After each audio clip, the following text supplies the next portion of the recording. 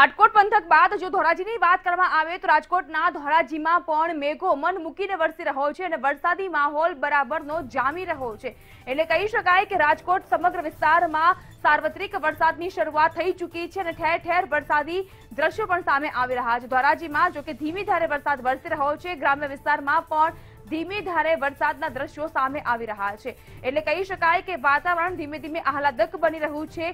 વાતાવરણમાં ઠંડક પણ પ્રસરી ગઈ છે.